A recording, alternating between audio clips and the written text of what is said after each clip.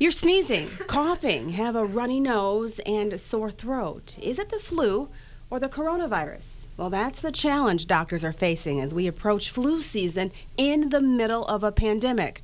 The flu mimics COVID 19. In very many ways, they all carry similar symptoms, including the fever, the body aches, the sore throat, the cough, the shortness of breath, all of those can occur with either COVID 19 or influenza. Now, doctors say the biggest difference the flu typically improves, but COVID 19, well, it can take a turn pretty quick. The most significant differences from the outset are a loss of sense of taste and smell, um, shortness of breath.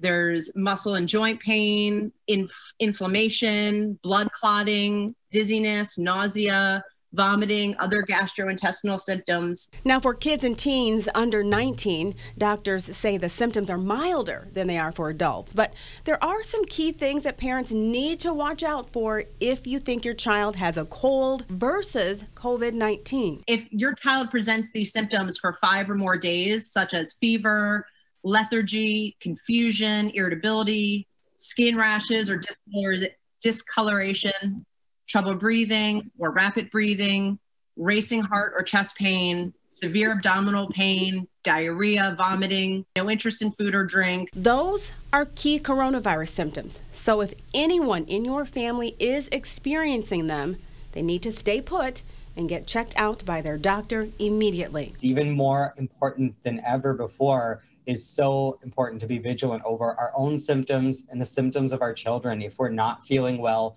to really do our best to make arrangements to keep ourselves at home.